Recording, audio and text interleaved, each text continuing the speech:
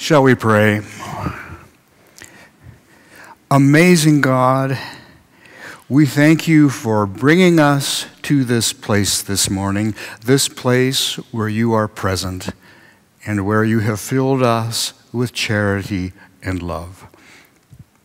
And so we ask you to receive these offerings with our gratitude for your generosity, and we ask you to use these gifts spread your charity and love around the world through the ministries of this church.